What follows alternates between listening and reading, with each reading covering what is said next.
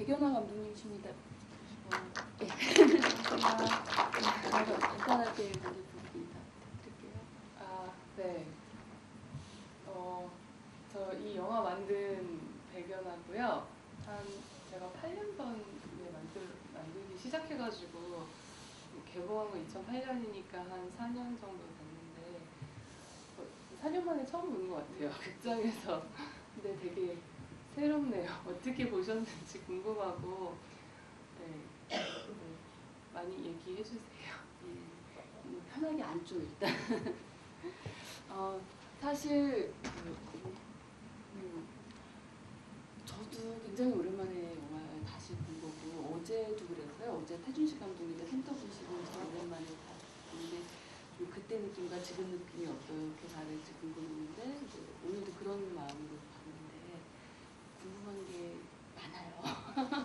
아마 여러분들도 영화 보시면서 굉장히 몰입 많이 하셨을 것 같아요. 그러나 이제 보면서 굉장히 이제 궁금한 것들도 많으셨을 것 같은데 그게 다 풀고 가시기 바랍니다. 어, 저도 궁금한 게 많아지네요.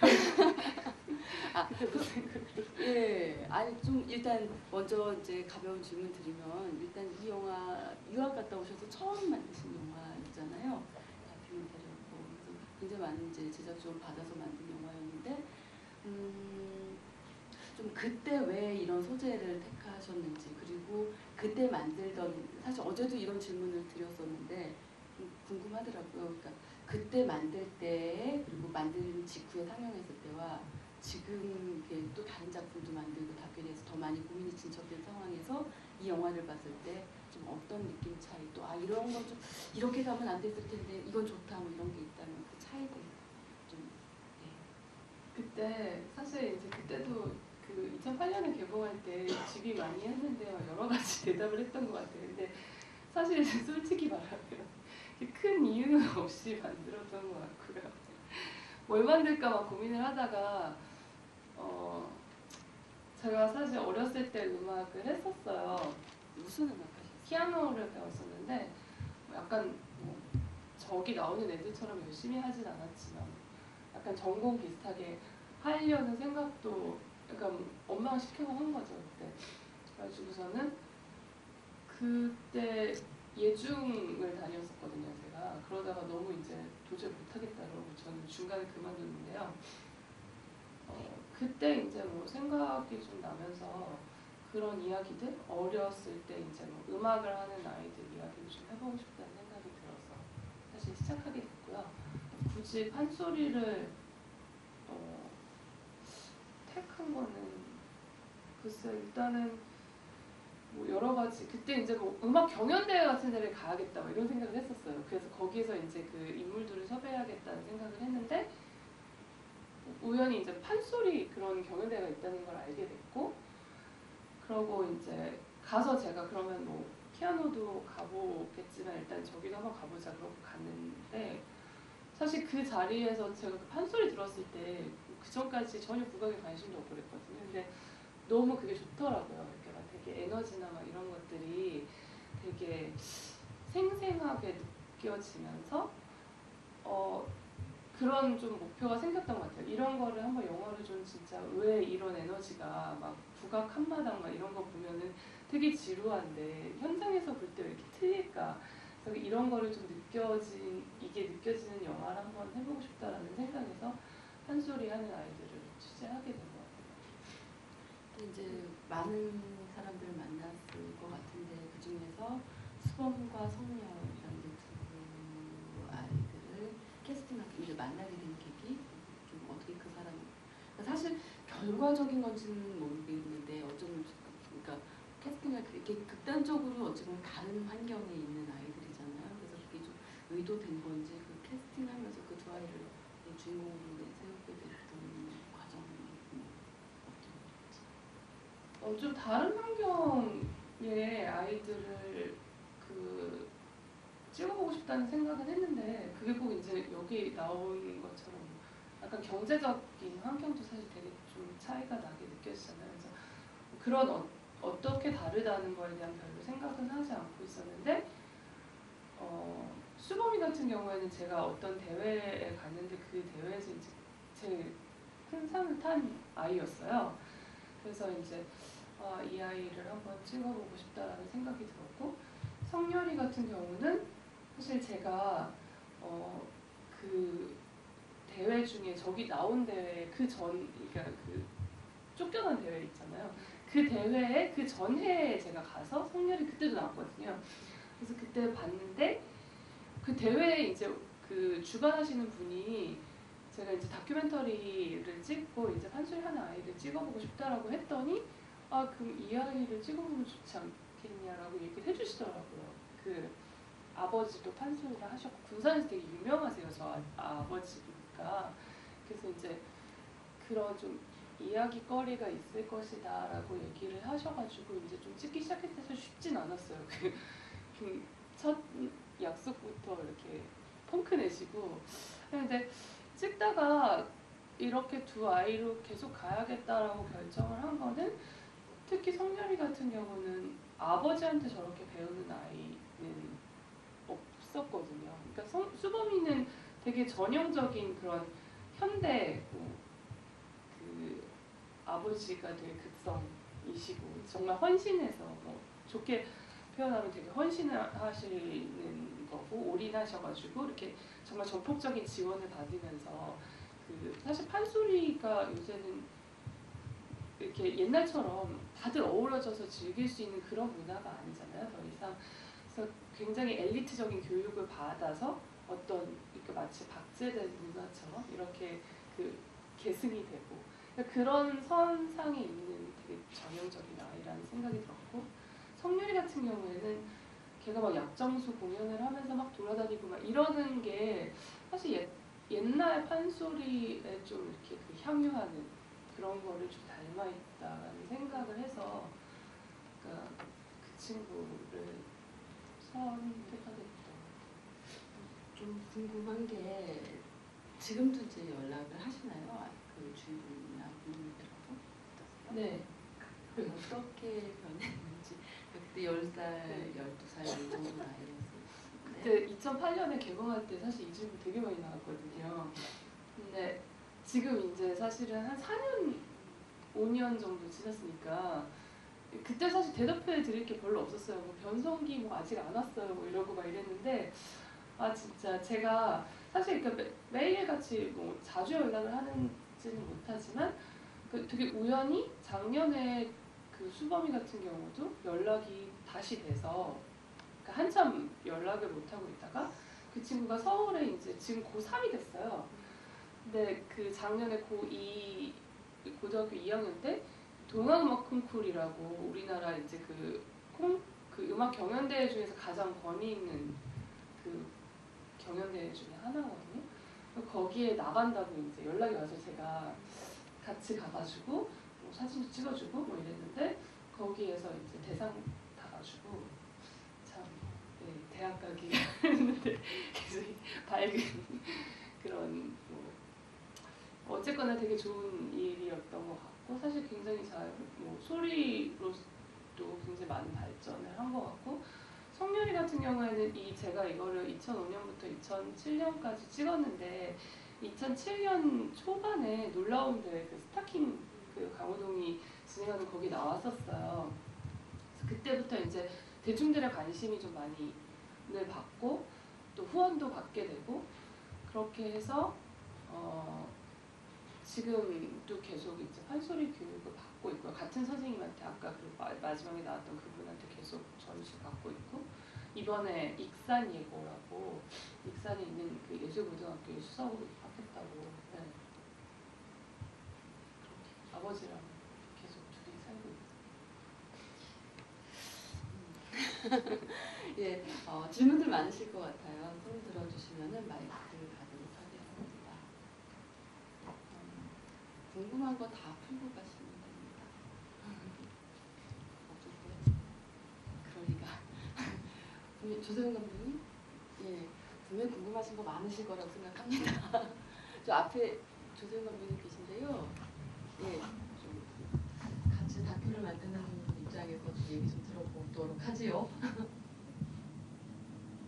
아, 그, 저 너무 영화를 재밌게 잘 봐서 저기 예 캐릭터가 너무 재밌어서 저기 옆에서 있을 것 같은데 예. 아 방금 감독님이 말씀해 주셔서 뭐 사실 저도 그 학생들 뭐지 그, 예 근황이 다시 궁금했는데 그 말씀해 주셔서 딱히 질문 드릴 거 없고 그 굳이 굳이 또 질문을 하라고 하시니까 음, 사실 그 저는 그냥 저는 이렇게 보면서 들었던 생각을 그냥 말씀드릴게요. 그 아버지 두 분이 좀 이렇게 언뜻 보기에는 대조적으로 보이지만 좀 제가 보기에는 되게 같은 맥락으로 읽히더라고요. 그러니까 그 아버지들의 이제? 자신의 어떤 이루지 못한 꿈들을 자식에게 투영시킨 것 같은데 그 표현 그러니까 어떤 방식이 조금 다르게 나타났을 뿐 어쩌면 같은 얘기 아니었을까 뭐 저 그런 생각이 들었는데 뭐 감독님 생각이랑 이게 맞는지 어떤지 잘 모르겠네요. 그리고 이거는 어, 좀 조심스러워서 어떻게 말씀드려야 될지 모르겠는데 그, 그 성렬이의 이제 그 멍자국이는 제가 어렸을 때 저도 아동학대를 당해봐서 아는데 그 일주일이 안 된 멍인 것 같은데 그런 거에 대해서 이제 감독님이 어떤 식으로 개입을 하셨는지나 그런 걸 계속 이제 어떤 게 폭력적인 상황 아, 아마 그 편집에서도 잘린 것 같은데 뭐 팔도 꺾었다고 하고 그러니까 그런 것들을 감독님 옆에서 계속 이렇게 같이 경험하셨을 텐데 거기에서 어떤 이제 자기가 어떤 어, 스탠스를 취해야 하는지 그런 고민들도 많이 있었을 것 같거든요. 예.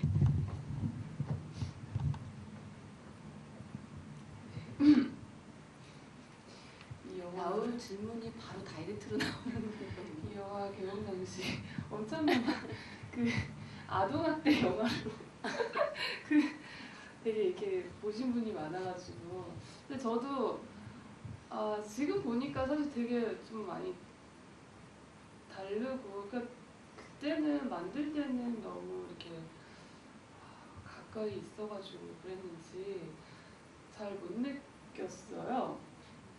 그러니까 그런 물론 당연히 굉장히 힘든 상황이고 그러니까 사- 찍는 게 저런 상황에서 찍는 게 쉽지는 않았는데 그 뭐 어떤 면에서는 사실 앞에서 해주신 이야기가 되게 그러니까 좀 상반되는 이야기인 듯 하면서도 좀 제가 고민했던 부분들을 다 얘기를 해주신 것 같은데 그러니까 제가 사실 이 영화를 통해 가지고 이제 얘기를 했- 하고자 했던 막 이런 것들이 좀 그 당시에는 어 그러니까 어떤 환경에서 자랐을 때 그러니까 저희가 이렇게 어쨌거나 제 3자의 입장인 거잖아요. 제가 걔 대신에 이렇게 그 삶을 살아줄 수는 없으니까 제가 중간에 개입을 할 수도 있었겠죠. 근데 그 개입을 하는 것이 이렇게, 비교하면은 되게 비유를 하면은 좀 되게 인간물이 없어 보이는 그럴 수 있, 그 오해를 살 수도 있는데 실제로 그 동물 다큐 찍는 것처럼 사실 그런 것도 좀 이 생각이 들더라고요. 그러니까 내가 여기에서 어떻게 개입을 할 수 있을까? 그러니까 개입을 한다고 하면 그런 고민을 되게 많이 했어요. 그리고 개입을 하는 거에 대해서 과연 내가 책임질 수 있, 있는지 내가 정말 이 그야말로 그들의 인생에 이렇게 사실 카메라를 들이대는 것만으로도 되게 많은 그, 그 개입을 하는 거죠.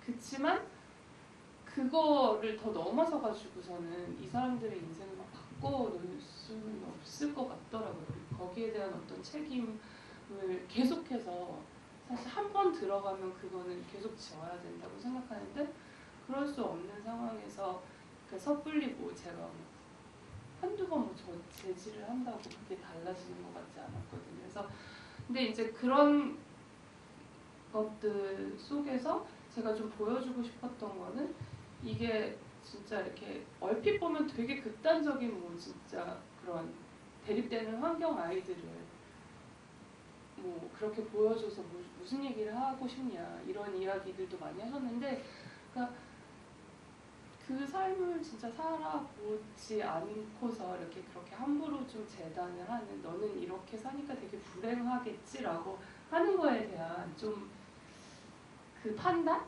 자체에 대해서 좀 한번 다시 생각해 봐라 이 아이들의 삶을 통해서 그런 이야기를 하고 싶었던 것 같아요. 너무 난해하죠 무슨 대답인지. 그러니까 어, 되게 어려운 이렇게 말을 너무 예쁘게 하실 필요 없어요. 이렇게 내가 말하거나 표현을 하면은 이거 내 인격에 대해서 또는 뭐 너- 너는 어떻게 그런 태도를 취해라고 관객들이 좀 오해하시지 않을까라는 그런 검열은 다 이렇게 풀어놓으시고 네, 그냥 속마음 다 얘기하셔도 다 이해하실 것 같아요.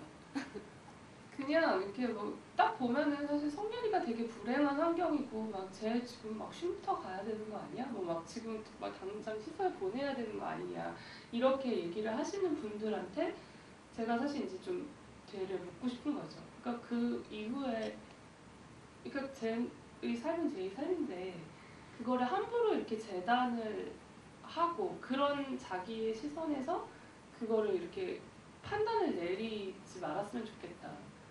이런 바람인 거죠. 사실 어찌 보면은 다큐멘터리를 만드는 가장 이렇게 굉장히 대비되는 두 개의 태도가 있잖아요. 그래서 우리가 옛날에 이제 뭐 시네마 베리테라고 하는 것과 다이렉트 시네마라고 하는 그 두 개의 태도. 카메라를 어떤 사람은 적극적으로 개입해야지 카메라는 촉매 아니겠어? 이런 입장이 있는 반면에 무슨 소리 그냥 지켜보고 없는 듯 지켜보면서 스스로 이렇게 진실이 드러날 때까지 기다려야 되는 거 아니느냐라는 양극단적인 태도라면은 어찌 보면 이제 감독님께서 그런 아까 지금 조세훈 감독님이 질문하신 것처럼 그런 순간순간에 개입하지 않고 지켜보는 것은 이제 그런 후자의 태도를 취하신 거라고 이제 생각이 드는데 근데 이제 저는 이렇게 영화를 보면서 약간 이제 궁금했던 게 뭐였냐면 영화 첫 장면에 이제 성렬이가 처음 등장을 할 때 보면은 계속 이렇게 해봐 저렇게 해봐 라는 얘기가 계속 나오잖아요. 그러니까, 사- 그러니까 성렬이가 이제 어떻게 어떻게 뭐 하면서 계속 어떤 조정을 하는지 것들 사실 왜 성렬이를 보여줄 때 이제 등장인물들이 처음 등장하는데 사실 어찌 보면 굉장히 인위적인 장면들인데 그것을 의도적으로 처음에 넣었다라는 말이죠.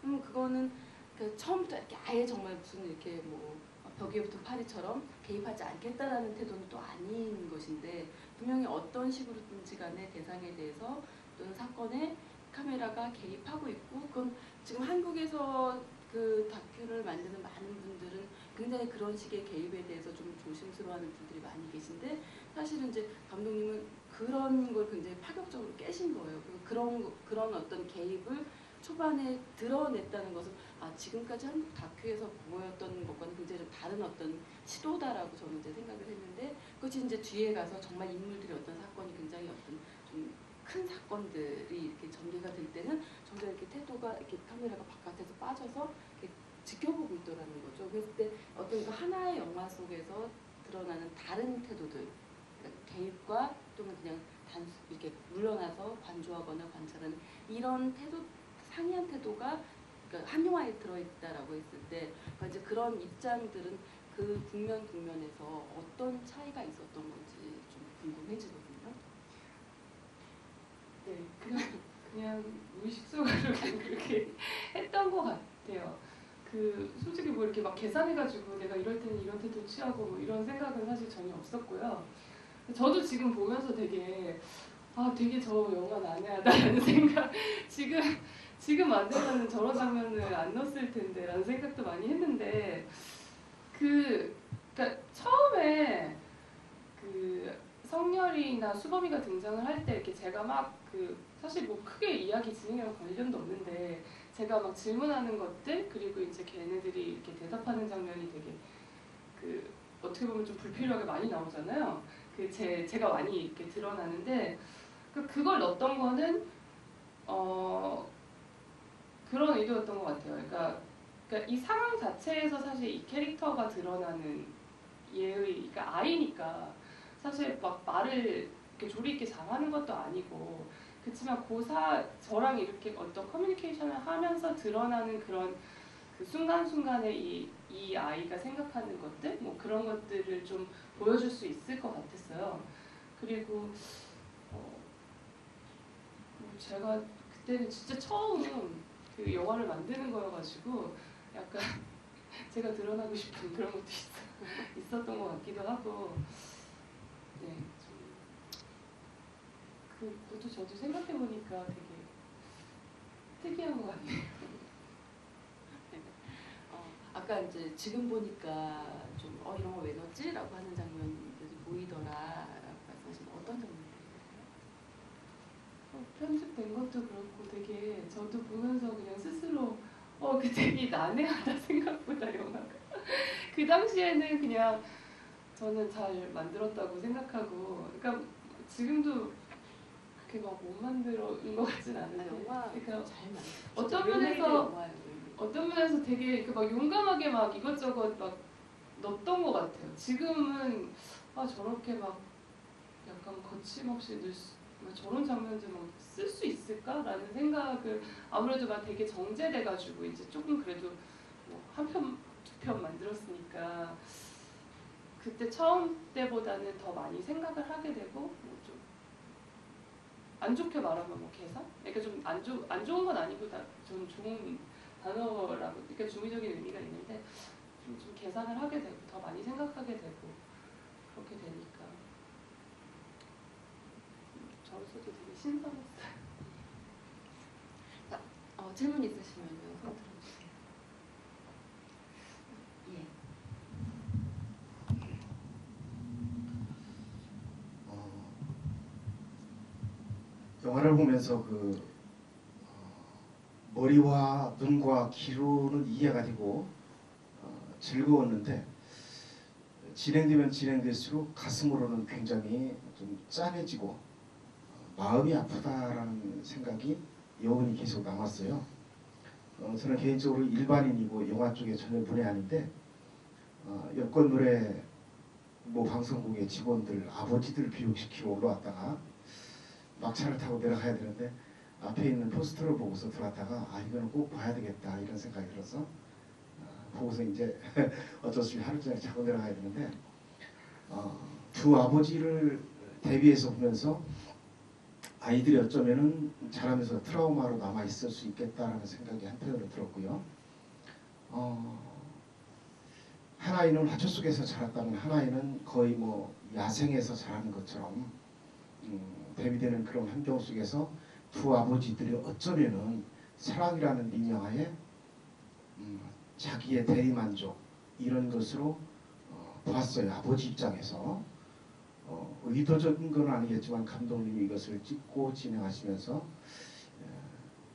이제 만약에 어, 혹시 이런 비슷한 독립영화를 또 찍는다면은 어, 저는 개인적으로 아버지들 교육을 한 11년째 지금 하고 있는데요. 이런저런 아버지들의 어떤 그 부성에 관한 어, 그런 것을 한번 좀 찍어주십사 개인적으로 부탁을 드리고 그 아이들의 궁금한 그러한이라는 걸 들었으니까 앞에 질문한 분들과 어, 이거는 눈으로만 본 게 아니라 제가 가슴으로 참 짠하게 봐서 다른 분들도 그렇게 공감을 했는지 아니면은 저만 그렇게 아버지 입장에서 느꼈는지 어, 이거는 뭐 감독님이 대답해 주신 것보다 우리 어, 관객들이 끝까지 남으셔서 이렇게 또 어, 이런 토론까지 해주시는 분들이 귀한 분들 같은데 어, 저처럼 이런 얘기를 일반인들도 좀 어, 얘기를 해주셔야 어, 좋을지 않을까 이런 생각이 듭니다.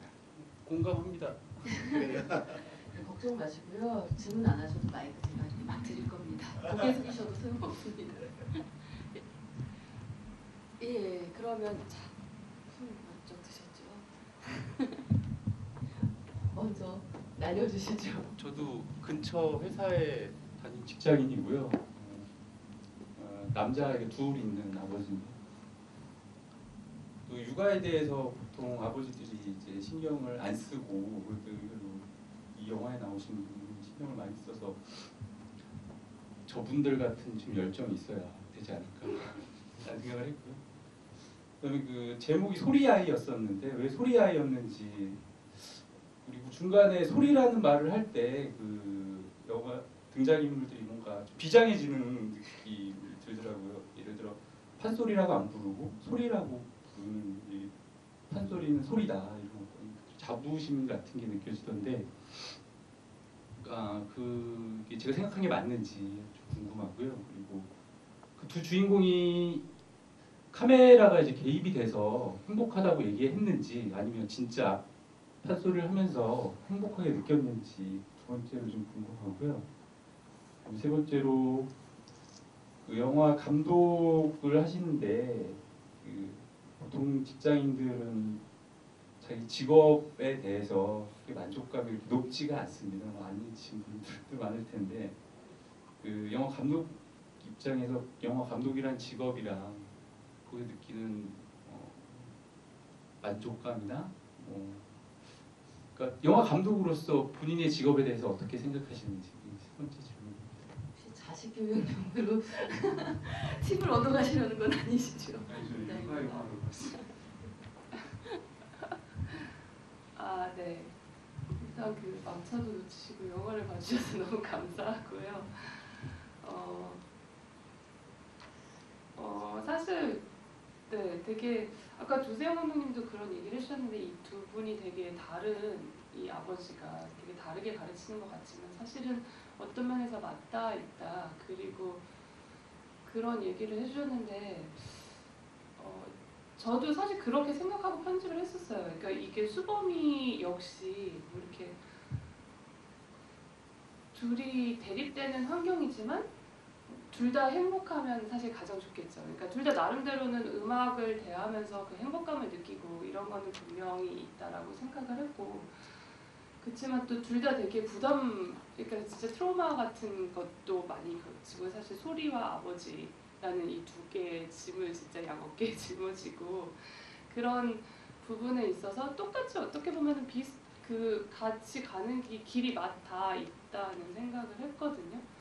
그래서 어 그런 뭐 아버지의 꿈들이 꿈이 아이한테 대물림되는 과정이라든지 진짜 이두 아이가 그 어, 아버지로 인해서 자기의 꿈이 돼버린 그런 어떤 소리를 하고 거기에서 뭔가를 배우고 잘하는 걸 보면서 이제 관객들이 사실 그런 부분을 느껴주기를 아까 육아 영화 같다고 하셨는데 그 진짜 아이를 어떻게 키울 것인가에 대해서도 한번 다시 생각해보는 계기가 될 수 있는 영화인 것 같아요. 왜냐면 제가 사실 이거 만들 때는 그렇게 생각은 안 하고 대신에 그 아버지의 꿈이 아이한테 이렇게 투사되는 거가 굉장히 정말 유사하다는 생각은 했었어요. 그런 부분을 보여주고 싶다. 사실 겉으로는 되게 대립되는 환경처럼 보이지만 사실은 비슷한 어떤 그 통로를 통해서 비슷한 길을 가고 있는 아이들의 모습을 보여주고 싶다는 생각만 막연히 했는데 그때는 제가 애가 없었거든요. 근데 지금 이제 애를 저희 아이가 여섯 살이에요. 저도 이걸 보니까 굉장히 좀 다르게 보이더라고요. 이 아버지가 그때는 좀 되게 냉정하게 봤던 것 같아요. 그 아버지를 아이의 입장에서 아버지를 봤던 것 같아요. 그러니까 그 영화를 만들 때.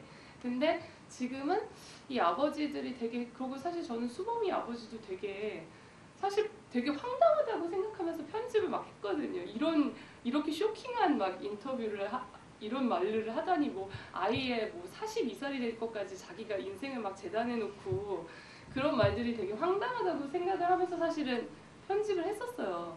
근데 제가 한번 되게 놀란 게 GV 때 수범이 아버님이 오셨고 되게 이렇게 학부형 분들이 단체로 관람 오셨는데 저는 되게 이렇게 그 공격적인 질문들이 나올 줄 알았거든요. 그때 막 애를 어떻게 저렇게 어, 자기 그 꿈을 그대 위해서 이기적으로 그렇게 키울 수가 있냐라고 이런 질문이 나올 줄 알았는데 어머님들이 다 너무 감명하셔가지고 저희 저렇게 키워야 되는데 노하우를 가르쳐 주세요. 약간 이런 분위기인 거예요. 그래서 그때 정말 제가 진짜 쇼킹했었거든요. 그 그때. 근데 지금 애 아- 엄마가 돼서 보니까 물론 아이의 인생을 제, 내가 재단하는 그런 우를 범하는 건 아니어야겠지만 사실 그때보다는 훨씬 더 이 아버지들의 입장이 좀 더 많이 이해가 되는 것 같아요. 그러니까 뭐 그거를 이게 바람직한 방향이라고 볼 수는 없지만 그러니까 어떤 사람이 살아가는 그런 것이구나 그런 느낌이 많이 들, 들어요. 그래서 그래서 되게 다르게 보이는 것 같아요. 이 영화가 더 더더욱. 아까 그리고 영화 감독 그, 그 질문 하셨잖아요. 그 영화 감독 그러니까 좋아하는 걸 하면서 살 수 있으니까 그런 부분은 좋은데 사실 그만큼 힘든 부분이 많죠.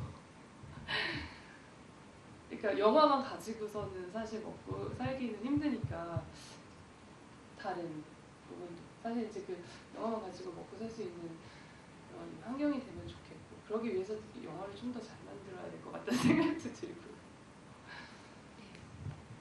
사실 이제 이게 이 영화 처음 영화제에서 막 좀 보냈을 때 저도 한번 기억하실지 모르겠지만 이제 감독과 대화를 진행을 했었어요. 서울 독립영화제였었던 것 같아요. 근데 이제 그때 아마도 그 관객분들 중에 국악 선생님들도 오시고 단체로도 오셨었고 또 이제 부모님들 연령 세- 연령 되신 분들이 이제 오셨는데 그러니까 저도 사실 좀 그때 놀랐었던 거죠. 그분들의 이렇게 어떤 반응들에 사실 이 영화를 보면서 마음이 굉장히 아프 저는 이제 뭐 좀 개인적으로 아프고 불편한 부분도 있고 이제 이런 느낌이었는데 그 말씀하신 것처럼 어 우리 저렇게 시켜야 돼라는 식의 어떤 반응들이 나오는 걸 보고 이게 몸이 뭐 이제 이런 느낌을 살짝 받기도 했었고 사실은 그때 이제 그 무렵에 저희 아이가 지금 아마 이제 감독님 아이 정도 나이였던 것 같아요. 조금 한 살 정도 어렸을 때인데 저는 그때 그때도 이제 그런 궁금증이 감독님은 이 지금 아버지와 아이의 관계 어떤 그 뭔가 아버지들의 욕망이 아이들에게 투사되는 것들 그리고 아이들은 본인이 마치 이거 하는 요 원화에서 하는 것처럼 이야기하는데 정말 그- 정말 그런 걸까 봐 온갖 복잡한 생각들이 막 지나갈 때 그리고 이제 카메라가 어떻게 할 것인가 이제 그런 어떤 순간순간에 이제 이런 것을 질문을 드리고 싶은데 드리는데 뭔가 이렇게 핀트가 약간 어긋난다는 느낌이 든 거예요. 내가 지금 불편하고 뭔가 힘들고 이 영화를 보고 나서 굉장히 이렇게 속 아프고 이런 그 감정을 어떻게 감독님께 전달을 해야 되는지 그리고 거기서 감독님은 그 현장에서 카메라를 들고 과연 어떤 태도를 취하셨고 그거에 대해서 어떻게 느끼시는지 뭔가 이렇게 질문을 드리는데 이렇게 약간씩 이렇게 어긋난다는 어떤 느낌들이 있었어요. 그래서 오늘 이제 다시 보면서 아 이제 아이가 이제 지금 이제 한 성렬이 이 영화 찍을 때쯤에 나이가 됐어요. 저희 아이는 이제 그래서 어 이제 어떤 느낌일까 굉장히 궁금했는데 굉장히 반성을 많이 하게 되는 거예요. 뭐냐면 오늘 아침에 저도 아이를 뭐 공부 좀 봐주다가 요즘 방학이잖아요. 보니까 그 수범이 아버지 하는 거하고 별 차이가 없더라고요.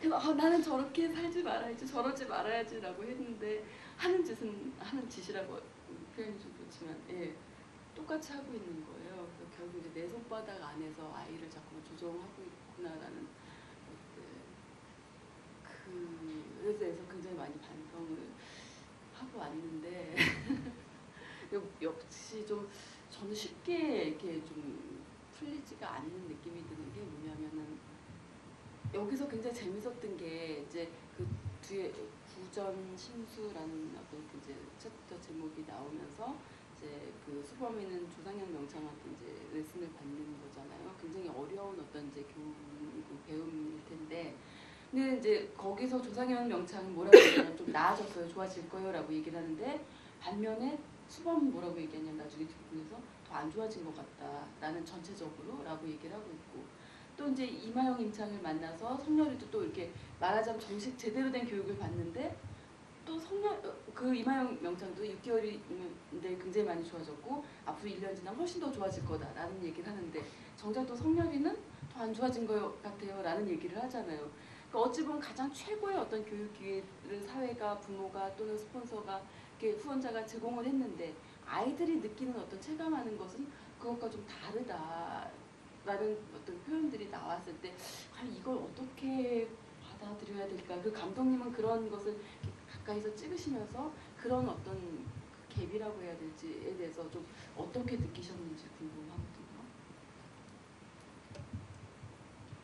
어, 제가 나중에 이게 되게 어, 우연찮게 걔네 둘한테 비슷한 질문을 던졌는데 둘 다 옛날보다 못한다는 얘기를 했잖아요. 저는 사실 그렇게 받아들였어요. 그게 얘네들이 되게 성장했다고 받아들였거든요. 그러니까 수범이 같은 경우에는 뭐 그러니까 진짜 자기가 혼자 제일 잘하는 줄 알다가 더 큰 이런 더 잘하는 사람들 많이 만나고 이러니까 그거 옛날 같지 않은 거죠. 그러니까 그게 어떠, 어떤 자기가 움츠러드는 거지만 사실 객관적으로 봤을 때 걔가 훨씬 진짜 늘은 거거든요.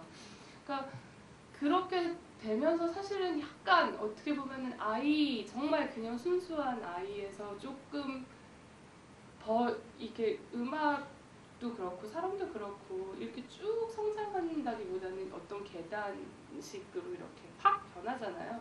그러니까 보이는 눈도 확 넓어지고 어떤 계기를 통해서 그러니까 그런 되게 그 운이 좋게 그런 계기를 잡았다고 생각했거든요 저는. 그래서 그런 아이들의 변화를 통해서 이제 좀 뭔가를 느낄 수 있지 않을까라는 생각을 했었어요. 질문 있으신 분요 예.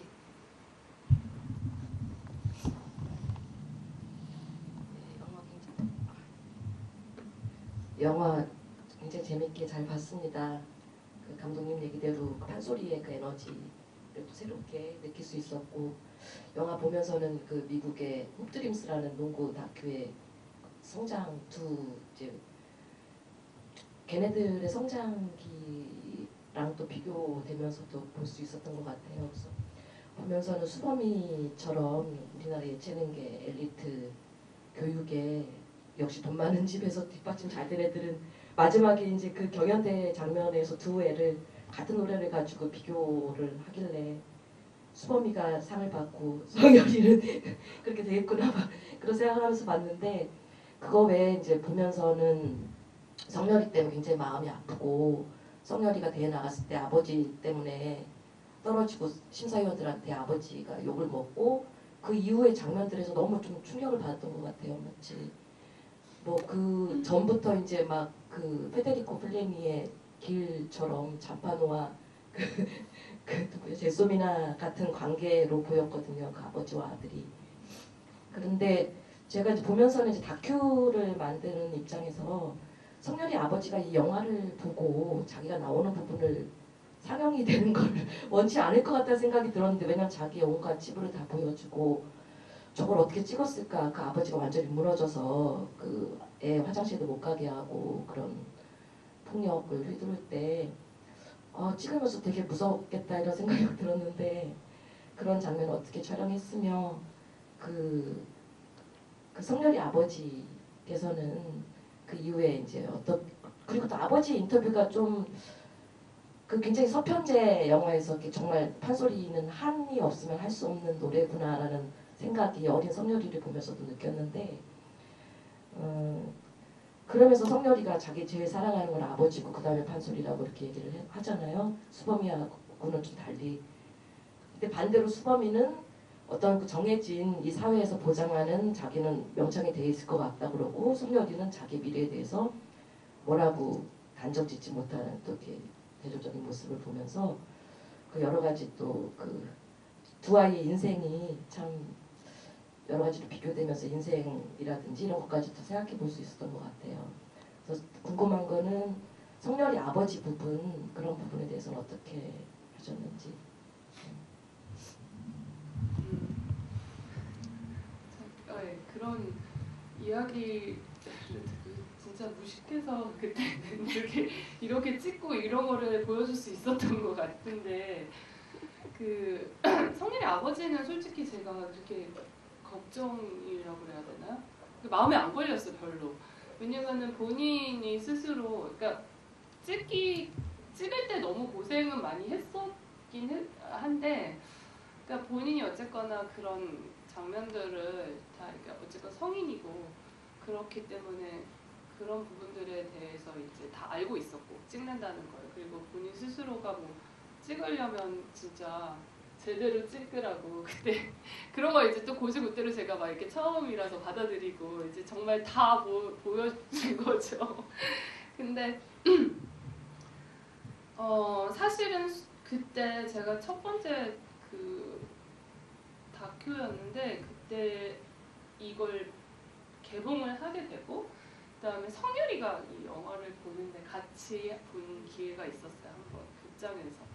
근데 그때 저는 사실 그게 너무 이렇게 트로마처럼 막 남아가지고 그때 그 기억이 그 관람을 하면서 같이 걔 옆에서 그러니까 그런 것 때문에 사실 되게 많이 이 다큐라는 거에 대해서 새롭게 생각을 하게 되고 그러니까 이런 어떤 그 진짜 실존하는 인물을 다루는 거에 대한 그런 것들에 대해서 어, 좀 생각을 정말 많이 했던 것 같아요. 이런 식으로 그러니까 뭐 윤리 뭐 이런 것들 적인 딜레마라든지 뭐 이런 것들을 어떻게 해야 될까라는 생각들.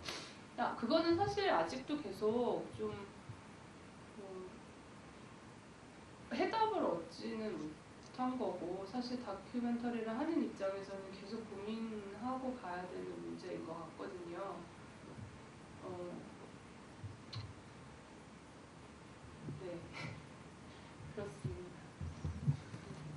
정말 굉장히 민감한 문제고 아마 끝없이 고민 되는 부분인 것 같아요. 근데 성렬이가 그러니까 그 전엔 안 그러니까 딱 이제 미리 촬영 다 끝나고 그러니까 편집 그러니까 공개 상영하기 전에 그러니까 성렬이나 수범이나 그 가족분들이나 최소한 이제 관련됐던 이제 주요하게 나왔던 분들에게는 사전에 이제 보여드리거나 하는 그런 과정은 없으셨던 건가요? 어, 사전에 네, 시사를 하지는 않았고요. 그 영화제 때 개봉을 하기 전에는 보시긴 하셨어요. 그래서 두 분 다 잘 나왔다고 얘기를 하셨는데 이제 그건 어른들이 얘기고 아이들의 경우에는 특히 더 어려운 것 같아요. 왜냐면은 아이들이 뭐 자기가 뭐 나와서 좋아 뭐 이렇게 영화관에 나오니까 어, 나는 배우 됐다 뭐 이러고 그렇지만 사실 그게 가, 그 아이가 그러니까 온전히 성인으로서 어떤 판단하에 내린 것이 아니잖아요. 그러니까 그렇기 때문에 그 아, 아이들을 이제 그런 다큐멘터리에 담는다는 거에 대해서 되게 이제 고민을 많이 하게 됐죠.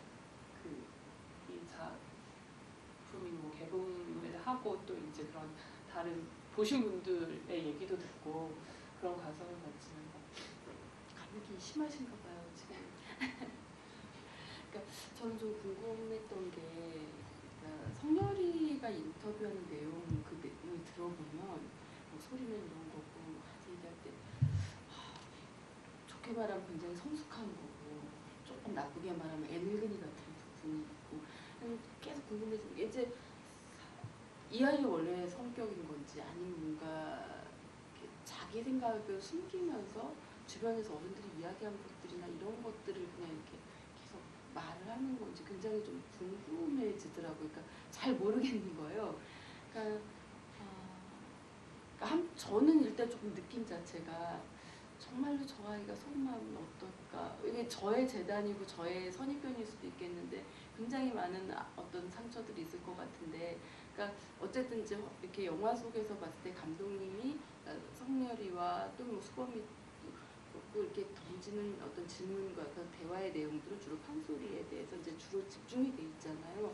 근데 그런 관계들 이렇게 시간을 갖고 계속 촬영을 하다 보면 아무래도 그 사람 자체에 대한 관심과 애정이 생길 것이고 때그 성렬이가 처해 있는 어떤 그런 이제 환경에서 조금 이렇게 좀 성렬이의 정말 이렇게 속마음을 본인이 좀 얘기를 안 할 수도 있는 것들을 이렇게 좀 들어본다거나 아니면 뭐 그런 어떤 시도 같은 것들은 혹시 없었는지 예, 아니면 뭐 그렇게 질문을 드려볼 수도 있을 것 같고 아니면 어쨌든 처음에 맨 처음 인물이 수범이하고 성렬이가 나왔을 때 수범이한테도 계속 이제 판소리는 어때 뭐, 자, 뭐 잦은 머리 뭐 이건 어때 할 때 계속 수범이 반응 약간 좀 잘 몰라요? 시큰둥한 반응이었잖아요.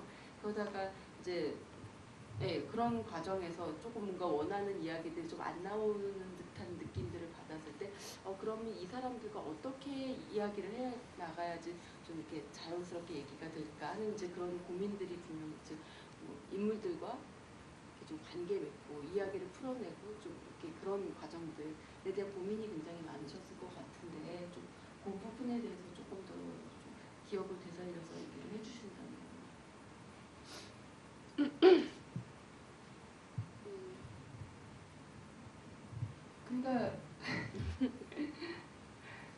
성렬이 같은 경우에는 어, 뭐 사실 아이들 어, 그러니까 아이들이랑은 친해질 수밖에 없는 것 같아요. 그러니까 뭐 어른들 같은 경우에는 뭐 사실 진짜 다큐멘터리를 많이 하고 인터뷰도 하고 사람을 이렇게 진짜 그 사람이 정말 생각하는 게 뭔가 바- 방금 말씀하신 것처럼 그 진짜 그 말하는 그 이면에 들어있는 진실이 뭔가 이런 것들을 보여주는 게 사실 다큐멘터리인 거잖아요. 그 사람 속에 있는 거든 아니면 상황 속에 있는 거든 겉으로 드러난 거 말고 그 안에 있는 것들.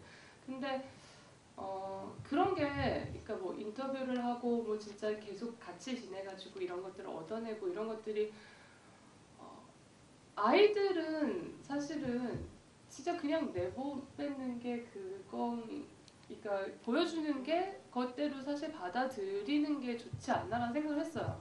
그러니까 계속 얘는 이러니까 이런 환경이니까 사실은 이럴 거야. 그리고 어쟤 되게 애늙은이 같이 말하니까 뭐 이렇게 뭐, 뭐 이런 것들이 있겠지. 제, 제 환경 때문에 이런 이런 영향들이 있겠지. 근데 사실 그거 다 당연히 그런 부분들이 있겠죠. 그렇지만 그 그런 것이 아니라 그 일단 그런 거를 가지고 질의 어떤 사람을 판단하는 거 를 조금 깨고 싶었다고 할까요?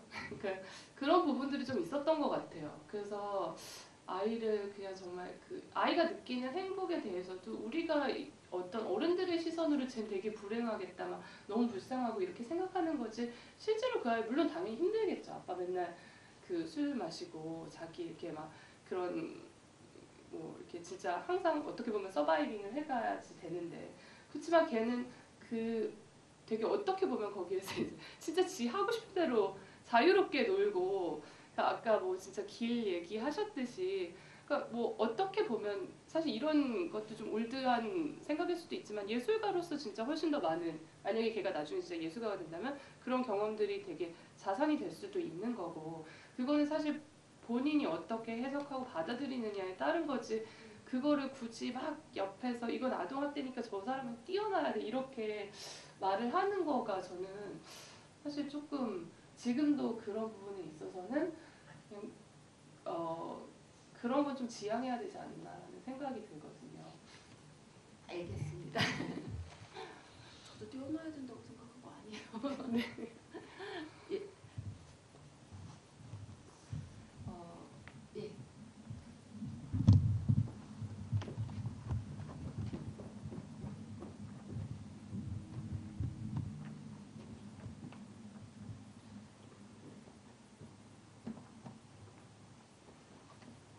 밑에 있는데요. 아래 그냥 버튼을 말씀하시면 누르시면 돼요. 좋은 버튼. 네.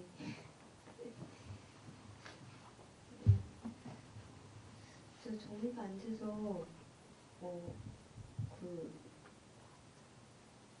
이런 질문은 되게 오랜만에 하는 것 같은데 음, 제가 저는 미혼이거든요. 그리고 그 어, 미혼이고 결혼할 생각도 없고 뭐 출산할 생각, 출산 육아할 생각도 없어요. 근데 그 어떤 영화를 보고 나서 그 관객분들이나 아니면 그, 그 감독이나 스태프들 이야기하는 거 보면 그, 그 기혼이고 아이를 갖게 되면서부터 세상을 보는 시각이 많이 달라졌다. 라고 이야기를 하게 되는 걸 보면서 그 자기가 가진 경험이 자연스럽게 열리면서 그건 어쩔 수 없는 거잖아요. 근데 나도 만약에 들어 수 있다면 음, 내가 완전히 세상을 다르게 보는 기회가 되지 않을까라는 생각을 가끔 하긴 하는데 오늘 이렇게 지금 GV 속에서 되게 그런 걸 많이 느끼게 되는 것 같고요. 그리고 글쎄요, 어, 아이를 가지고 있다고 해서 부모가 되는 것 같진 않고 그 아이 아이가 어른의 거울이기도 하고 그리고 그 거울을 보고 생각하는 어린 부모가 되는 것 같아요. 제 생각에 뭐애 낳았다고 부모 되는 건 아닌 것 같고요. 그래서 여러 가지 생각이 좀 많이 드는 것 같아요. 어, 그리고 어, 제가 좀 느꼈었던 건데 그, 그러니까 그 아이의 입장으로 저기 부모를 보잖아요. 근데 작년에는 그 내 부모한테 나는 어떤 아이였을까라는 생각이 좀 들더라고요. 아마도 굉장히 다루기 힘든 아이가 아니었을까. 당황스러웠겠다. 혹은 내가 생각하는 것 말고도 다른 뭔가가 있었겠다. 네, 그런 생각이 들면서 그 한국은 저기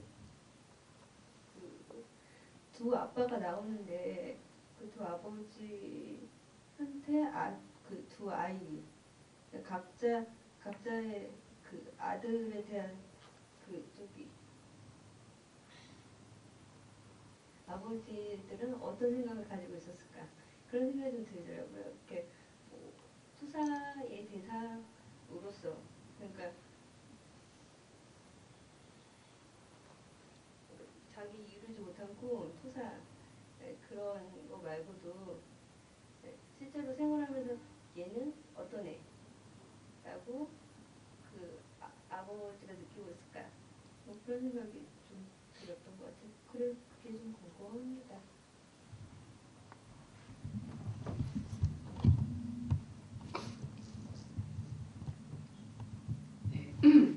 어, 되게 재미있는 수감 말씀해 주셔가지고 그런 부분은 네. 아이 본인이 아이였을 때 어땠을까 이런 생각을 하신 거는 되게 네, 처음 듣는 것 같아요. 근데 음, 뭐 아버님 아버지한테 아이들이 쟤네들이 어떤 존재였는지에 대해서도 저도 뭐 사실 알 수는 없죠. 그 아버지도 사실 잘 모를 것 같아요. 그 아이가 얼마나 어떤 존재인지. 근데 특히 뭐 성렬이 같은 경우는 정말 가족이 유일한 가족이고 어떻게 보면은 성렬이가 없으면 사실 경제적인 그런 거를 성렬이가 없으면은 경제 활동도 할 수 없고 못 듣는 거잖아요. 그러니까 정말 그야말로 자기 몸 이렇게 그런 같은 것도 있고 어떤 때는 되게 좀 어, 영화에서 그런 부분이 많이 보여지진 않는 것 같은데 약간 팀 같다라는 느낌을 받은 적도 있어요. 제가 진짜 저 막 파트너 같은 느낌? 진짜 그 어떤 아이 아주 어린 아이임에도 불구하고 그 둘이 가지고 있는 관계가 너무 진짜 항상 둘이 의지하고 둘이 같이 여행 다니고 돈 벌러 다니고 뭐 이럴 때 그러니까 굉장히 뭐 물론 힘들 때도 있고 아, 아버지가 술 마시고 이렇게 막 진짜 꼬잡을 부리시기 시작하면 그래지지만 또 둘이서 굉장히 진짜 막 파트너처럼 유쾌하게 막 이렇게 아버지에 대해서 어떤 막 그때가 아니면 사실 저는 성렬이가 그뭐 아빠 다음으로 판소리가 좋다고 그랬을 때그 거짓말이라고 생각 안 하거든요. 그러니까 그게 정말 그 좋을 때는 아버지가 정말 친구 같은 거죠. 어떤 아버지로서의 그 멀리 있는 존재가 아니라 그때는 술을 마실 땐 돌변하지만 그렇지 않을 땐 정말 어떻게 보면 난 성렬이에게도 유일한 가족이고 그야말로 좀 친구처럼 같이 돌아다니고 같이 돈도 벌고 그 팀메이트 같기도 하고 그런 그런 느낌을 저는 받았거든요. 그리고 어 수범이 같은 경우에는 그거에 반해서 좀 더 전형적인 그냥 아버지와 아들의 관계인 것 같아요. 아버지한테는 물론 되게 특별한 아들이겠죠. 자기가 진짜 하고 싶었던 거를 그 시키는 아들이니까 진짜 애정도 각별하고. 개의 모든 진짜 맹모삼천지 맹부삼천지 교처럼 뭐 이렇게 그야말로 개를 위해서 모든 그. 그치만 또 뭐 이렇게 친구 같은 그런 느낌이라기보다는 조금 더 아버지 그야말로. 나한테 모든 그러니까 굉장히 부담스러울 수도 있죠. 수범이한테 어떤 커다란 그 내가 항상 가지고 가야 될 소리와 함께 그런 음, 짐일 수도 있고 또 근데 그분들도 사실 같이 많이 다니세요. 그러니까 수, 수범이 아버지가 거의 운전해서 이렇게 막 왔다 갔다 하시고 기차 타고 다닐 때도 있지만 그러니까 제일 친하긴 친해요. 그세그 남매 중에서 아버지랑 가장 많은 시간을 보내니까. 근데 이제 조금 더 평범한 그런 아버지와 한국의 아버지와 아들의 관계. 뭐이 영화 오늘 다시 보면서 어,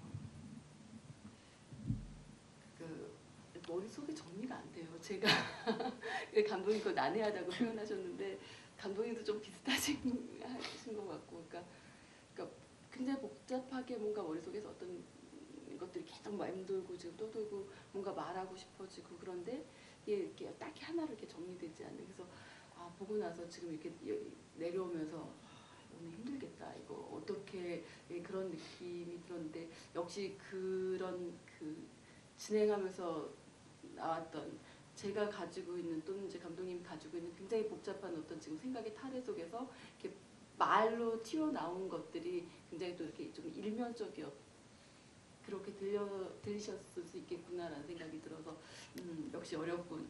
그, 동시에 그것은 이 영화가 굉장히 좀 논쟁적인 영화다와 예 그렇게 던져진 영화다라는 생각이 듭니다. 예. 또 질문 있으시면 손 들어주세요. 예. 마이크 갑니다.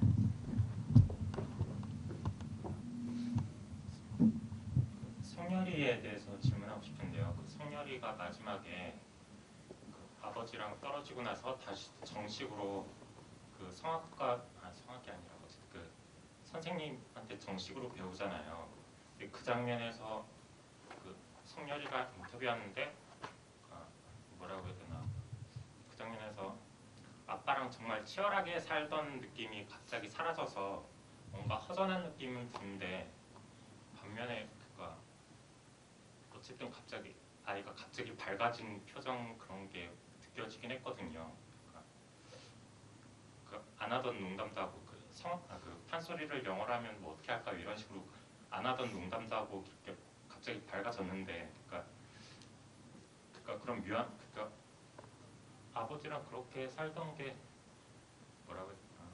그러니까 판소리가 한의 정서가 중요하다고는 하지만 한참 사, 사춘기 때 감정이 예민한 시기에 저런 경험을 하면은 솔직히 정신적으로 뭐 정서적으로 성숙해진다기보다는 솔직히 저, 같, 저 같으면 성질만 버릴 것 같거든요.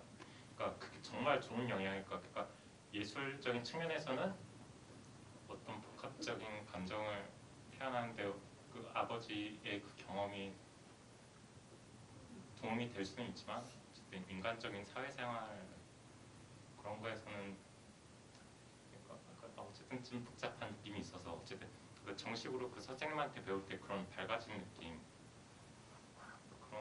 거에 그 거기에 대해서 그때 성렬이가 어떤 느낌이었는지 찍으실 때도 원래 그렇게 밝아졌는지 실제로 그런 식그 질문 드리고 싶습니다.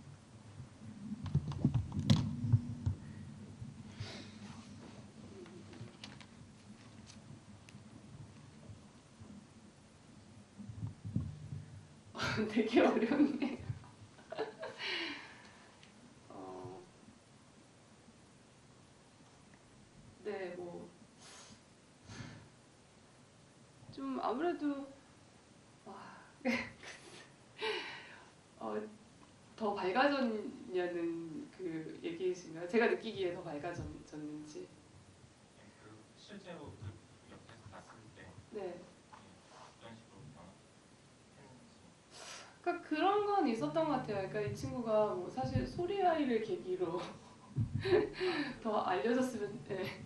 가지 그 네. 스타킹에 출연했 다고 했잖아요. 그 촬영 수, 그 스타킹에 스타킹에 출연하게 된 계기가 어떻게 찍으시면서 어떻게 연락을 의뢰를 해서 한 건지 뭐 그게 아, 아니 그거 아니고 저는 그냥 뭐 2005년부터 사실 이제 찍고 있었는데 어, 어느 날 그 친구분이 그 성렬이 아는 그 아버님의 친구분이 그거를 보내다가 이렇게 우연히 그 스타킹에 나오게 된 거고 어, 이 영화 영화로 성열이가 이렇게 많은 사람한테 알려졌으면 더 좋았겠지만 스- 스타킹으로 사실은 진짜 이 친구가 많이 알려지고 막 팬카페도 생기고 막 이랬었어요 그때.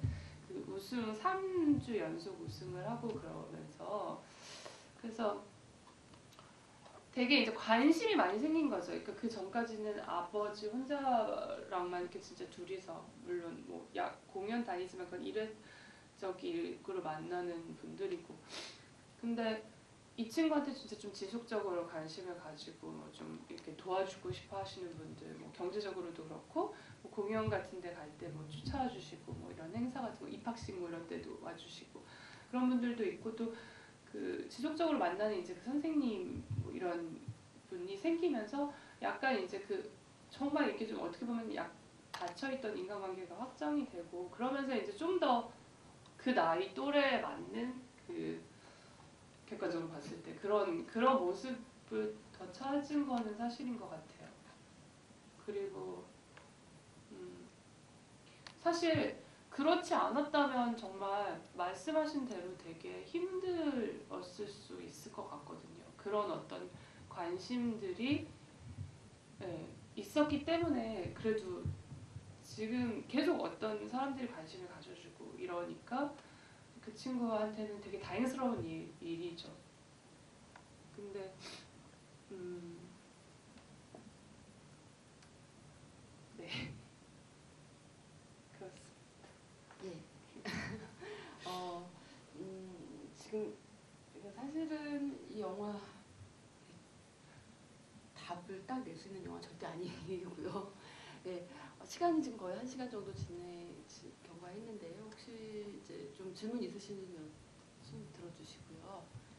음, 없으시다면은 몇 가지 제가 좀 마무리 질문 드리고 싶은데 제가 이제 몰랐어요. 그 전에 몰랐다가 오늘 좀 찾아보다가 감독님이 어떤 나라 다니고든 어떤 나라에 촬영 아니 편집을 참여하셨다는 거 오늘 알게 됐는데 그동안 몰랐을까요?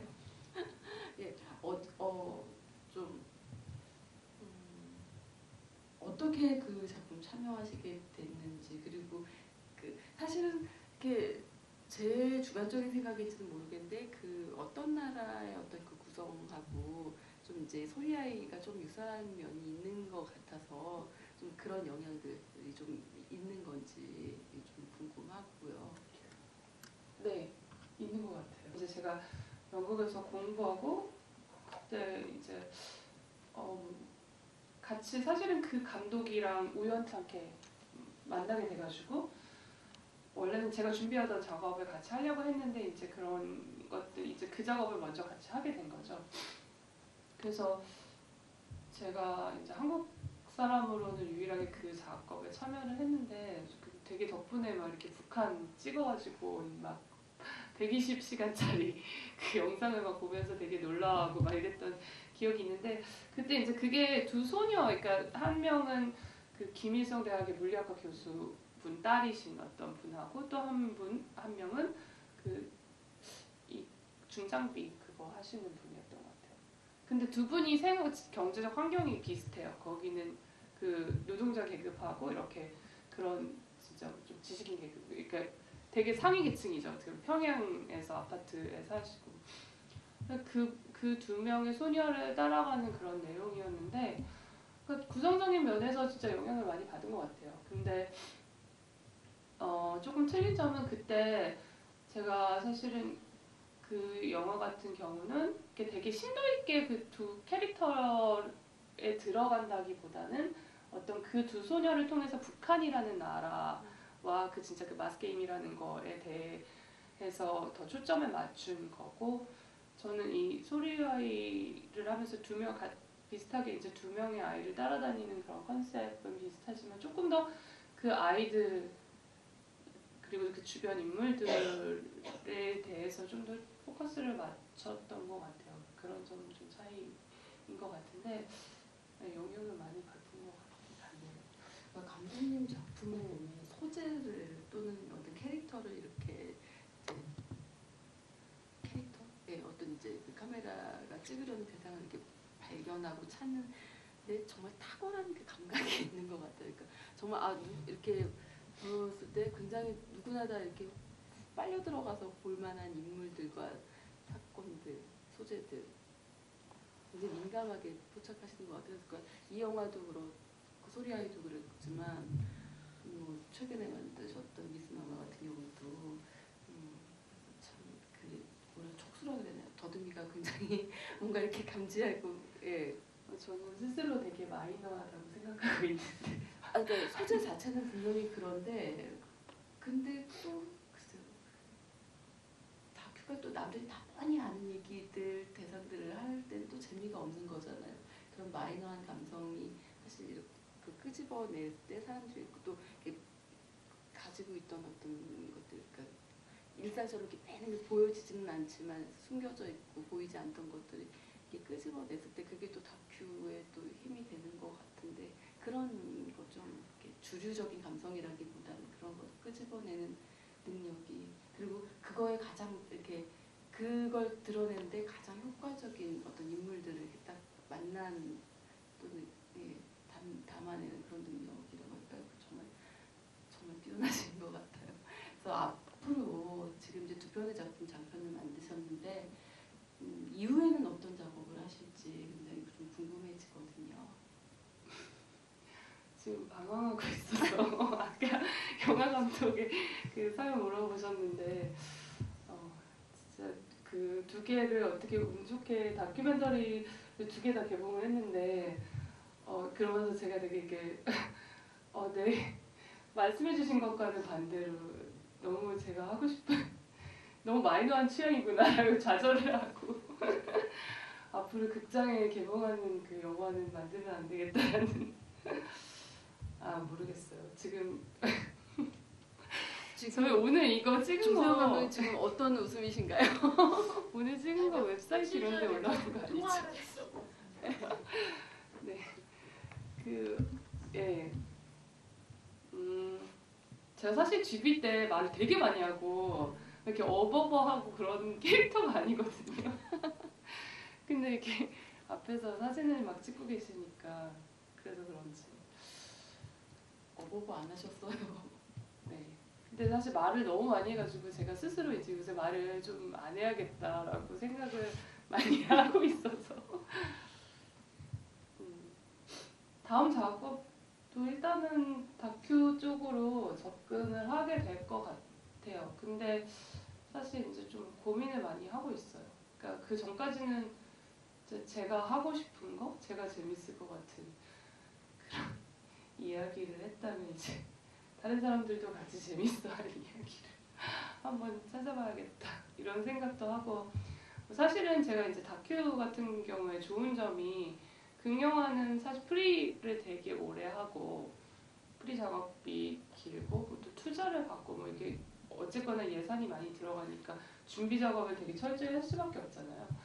그- 그런 거에 비해서 다큐는 사실 소자본으로도 내가 진짜 찍, 하고 싶은 이야기가 있으면은 나가서 찍고 뭐 이런 게 또 가능한데 어, 요새는 아, 극영화 같은 경우에 이렇게 pre 작업을 오래 하는 이유가 있을 것 같다라는 생각이 들고 조금 더 신중하게 사실은 좀 미리 그러니까 그런 단계에서 그러니까 작업을 준비하는 단계부터 어떤 이야기가 될 것인지 뭐 이런 거에 대해서 좀 더 고민을 많이 해봐야겠다라는 생각은 하고 있어요. 알겠습니다. 그러니까는 지금 당장 이렇게 딱 이거다라고 하실 거는 이제 조금 더 숙성시켜야 되는 상황. 비밀이. 네. 네, 비밀이랍니다. 아마 언젠가 짠하고 나타날 것 같습니다. 어, 굉장히 아마 이렇게 한눈 못 파셨을 것 같아요. 영화 보시면서 이렇게 좋으실 수도 없었을 것 같고요. 굉장히 몰입해서 보시고 많은 생각을 하게 하는 영화였던 것 같습니다.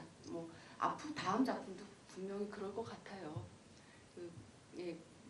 그리고 백연아 감독님 정도로 이렇게 두 편 다 개봉을 할 정도면 지금 한국 다큐멘터리 배급 상황에서는 상당히 예, 잘 풀린 경우죠. 물론 이제 관객이라고 하는 게 시작이라고 하는 게좀 많이 아- 안타깝지만 어쨌든 감독님의 취향이 마이너 취향이어서는 절대 아닌 것 같아요.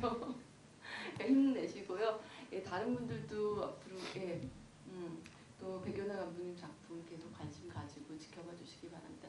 어, 늦게 늦게까지 함께 해주셔서 감사드리고요. 마지막으로 큰 박수 부탁드리겠습니다. 감사합니다. 아, 그러니까 아까 그 구성의 사랑에 대한 그거 추천해 주셨는데 한번 진짜 생각해 볼게요. 구성 구성에 관한 그런 영화. 예. 예, 안녕히 계세요. 감사합니다. 오늘